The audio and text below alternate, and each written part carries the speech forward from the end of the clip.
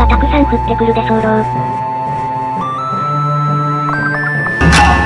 同じ色の毛玉忍者を、3つ以上なぞって、指を離すと攻撃開始でござる。倒すとコインになるでござる。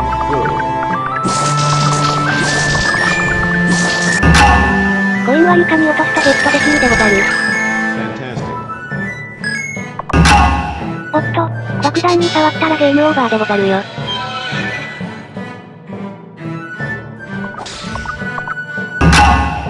が光っているやつは棟梁でしょうこいつを倒すと画面中の毛玉忍者を、一網打尽にできるでござる。異なる二色の毛玉忍者を、なぞると、位置交換できるでござる。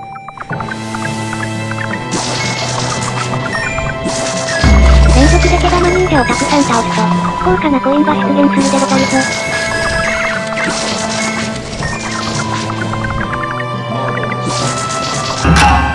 爆弾を床に落とすと消せるでござる。30秒経つと爆発して、ゲームオーバーなので、さっさと処理するでござる。